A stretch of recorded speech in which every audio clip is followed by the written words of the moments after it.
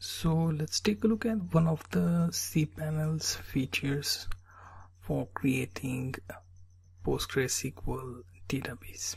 Okay, so if you logged into cPanel, you will find that there is one section named databases. Okay, you can see it here.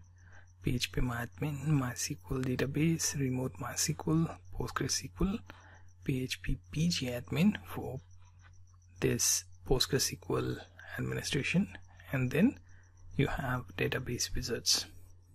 So we are going to click on this PostgreSQL database.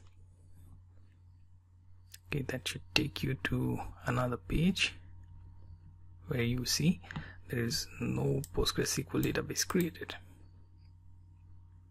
Okay now here I'm going to create a new database. Let's name this something like a folder. Okay. So which will check this is the name of my channel help folder. And I'm going to click on create database. So my database name will be one core underscore help folder. So let's create it.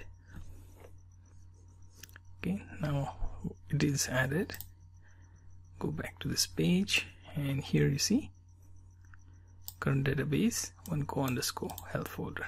By default it has 6 MB of size. Currently no users are added here which we can add. Also we can rename the database or delete this database.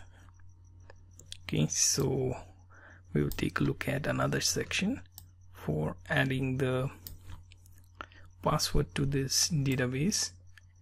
And then also we will see how to add this user to our database